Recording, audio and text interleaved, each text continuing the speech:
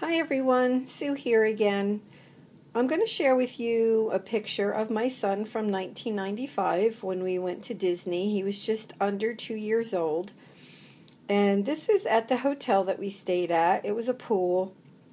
And uh, he was just having a blast. So, what I would like to know from all of you if you um, have experienced scrapbooking pictures from, you know, uh, like up to 60, 70 years ago, and, and you have a lot of them, what has been your best experience with on how to scrapbook them? Because I would imagine I'm going to have a lot to scrapbook as I go through pictures that my mother has.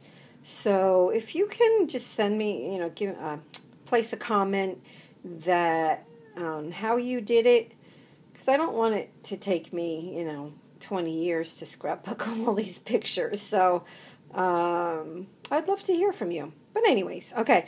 So this particular um, 12 by 12 layout is um, all around this, this one picture of my son. Um, the products that I have used is, um, a lot of it is from the Citrus Twist Project Life kit that I just got a couple days ago. It's the March kit.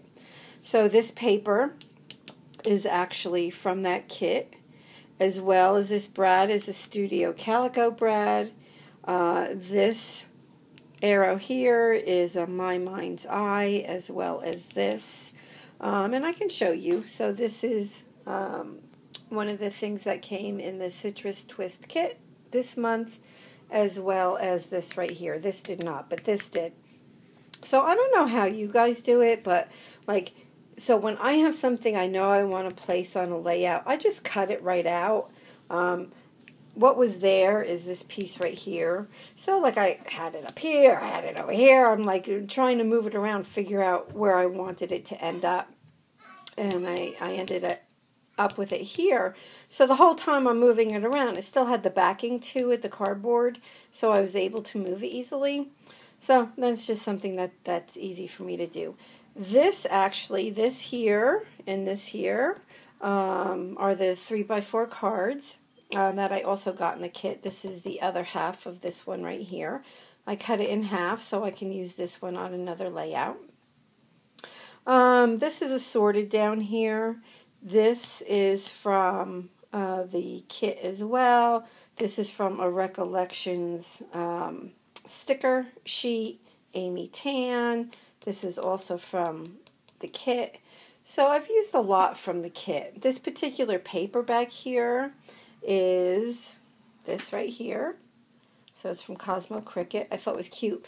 Um, kraftnkate actually had a destash where she was making kits for people. So you could kind of like pick and choose, you know, what colors you liked, what you were interested in, and she would make a kit for you. And this is one of those papers, and I am having so much fun using all of those papers. I love it.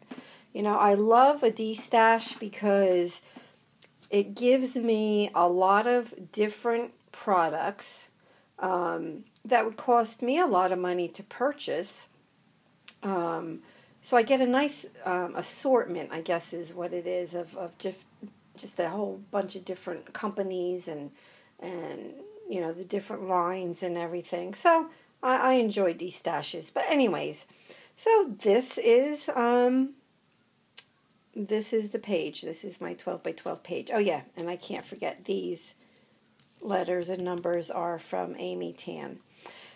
So I am, oh, and I use the Heidi Swapp uh, mist on here.